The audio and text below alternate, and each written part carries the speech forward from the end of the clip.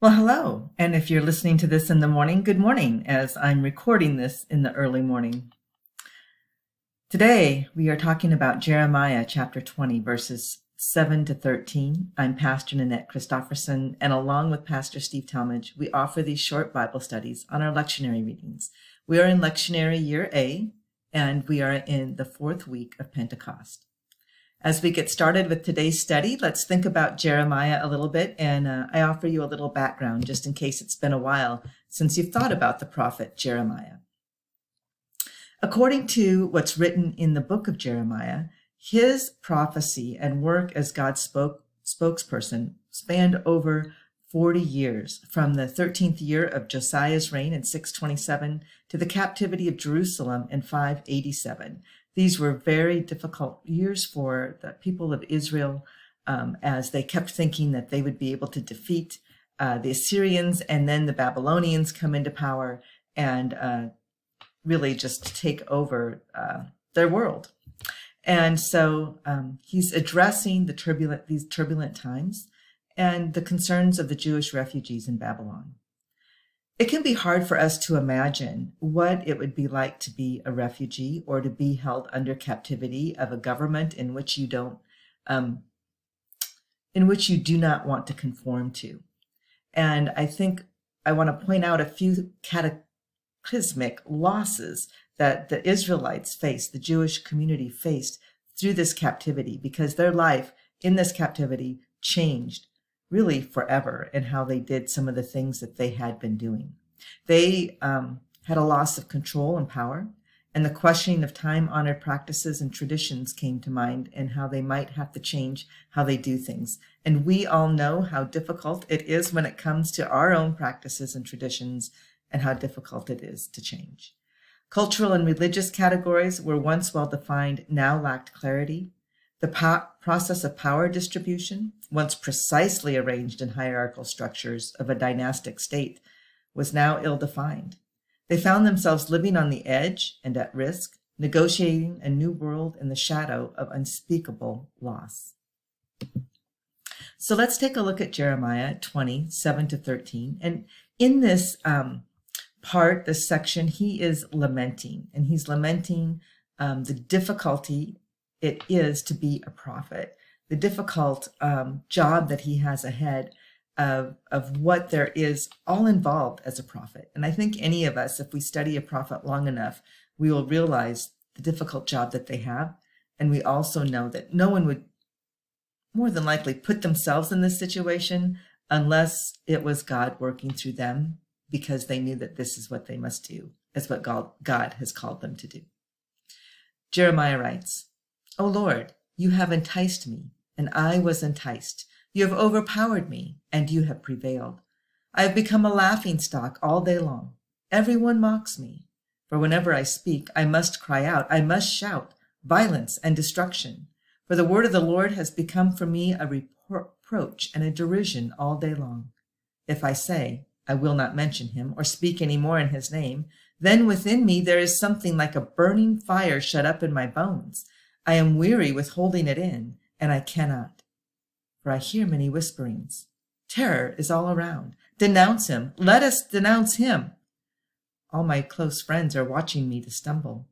Perhaps he can be enticed, and we can prevail against him and take our revenge on him. But the Lord is with me like a dread warrior. Therefore my persecutors will stumble, and they will not prevail. They will be greatly shamed, for they will not succeed. Their eternal uh, dishonor will never be forgotten. O Lord of hosts, you test the righteous. You see the heart and the mind. Let me see your retribution upon them. For to you I have committed my cause. Sing to the Lord, praise to the Lord, for he has delivered the life of the needy from the hands of the evildoers.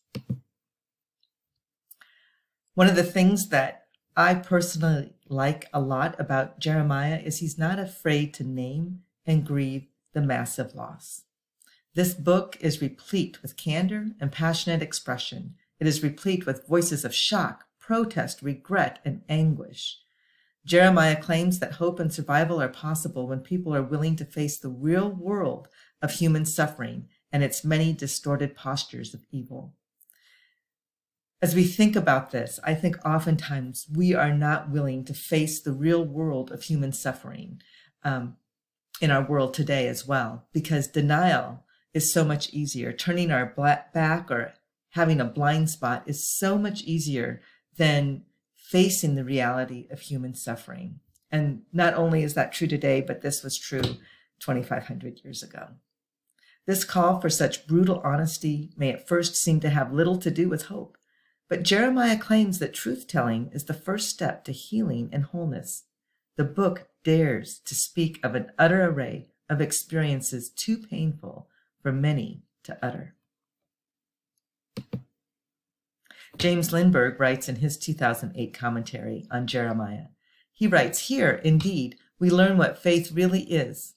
Not that smug faith which is untroubled by questions because it has never asked any, but that true faith which has asked all the questions and received very few answers, yet has heard the command, gird up your loins, do your duty, remember your calling, cast yourself forward upon God. I really appreciate what James Limburg wrote because faith requires us to question so that we can grow deeper. And yet, oftentimes, we don't receive the answers, or the answers we do receive, we don't want to hear. Um, so, the, the, the part of faith that is so important for all of us is to remember that if we don't ask questions of our faith, we really won't grow. And we really won't grow in trust in God and um, grow in understanding of God. As we take a look at the laments of Jeremiah, our reading today is one of a half dozen texts known as the Confessions, or better, Laments of Jeremiah. While outwardly the prophet appeared as a wall of bronze, these laments reveal something of the turmoil he was experiencing within. He had not wanted the job in the first place and claimed the Lord had seduced him into it. His own family and friends had turned against him. He found himself alone, unable to enjoy good times. He went so far as to wish he'd never been born. And whose fault was all this? Jeremiah did not hesitate to place the blame for his dire circumstances on the God who had called him to task in this first place, accusing God as being deceitful as a mirage in the desert. Perhaps sometimes we too have felt um, some of this lament that Jeremiah feels that if we we know that if we are to bring up the subject of God or Jesus to loved ones or family or certain friends, that ears will automatically close and we will be um, dismissed immediately. And I think some of us know that that's what could happen, so we often avoid that. And Jeremiah is bold. He's bold in uh, teaching and spreading and help trying to help people understand what God is asking of them. I also think it's important that we think about lament and how do we define it? And do we, are we willing to go into a prayer of lament? This is not only helpful for all of us as Christians, but it's a way of processing, and it's a way of processing grief in God's presence. Many Christians have grown up in churches, you know, that always look like they're on the bright side of things and when we think about lament, then, if you've only grown up on the bright side, or I call it the theology of glory, lament can be jarring. But lament looks forward and restores hope. It presents us with the opportunity to look up to God and activates our memory by reminding us of countless testimonies that not only tell us who He is, but also reveals His heart towards us. One of the things that we are reminded in lament that you won't have to go it alone. And Jesus reminds that reminds us of this too. No one ever said that the Christian life was going to be a rose garden, right? We all know that the Christian life is filled with its own valleys and mountains, and that there will certainly be troubles on our path. Psalm 69 is another um, individual lament that you might want to look up, and it's one of our readings for this week as well. And we see that the psalmist here, um, it's designed, the lament is designed for one who is drowning in sorrows and trouble, insulted by enemies and relatives, the subject of gossip, crying to God's rescue, and the situation sounds very much like Jeremiah's life.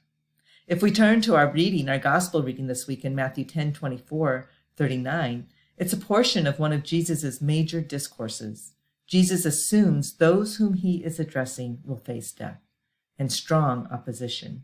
He declares that discipleship comes with a cost, a cost with its emphasis on a cost that is a cross, and its emphasis is on trials and troubles. Jeremiah 27 to 13 fits in with these other lectionary texts very well for this week. So, what particular word does this text bring? There will be times in every person as we try living a responsible life with God that we'll run into unbearable and tragic situations. And at such times, one may have to say, Lord, you got me into this mess. Now get me out of it. When Paul was fearful about continuing his missionary work, there was that same promise. When any one of us stands at the edge of one's life dark valley, the psalmist's prayer can be ours. For you are with me. The ancient Christian greeting, which remains a part of our greeting and wish for one another, says it all. The Lord be with you. The last words of Jesus to his disciples were, And I am with you always to the end of the age. That's a promise. You won't have to go it alone. So, as we think about Jeremiah and this lament, can you relate to Jeremiah? I think there's probably all of us have times in our lives where we can relate to Jeremiah. And then what qualities do you admire about Jeremiah? What are things that you admire? One of the things I admire is his relationship with God and his obedience to God.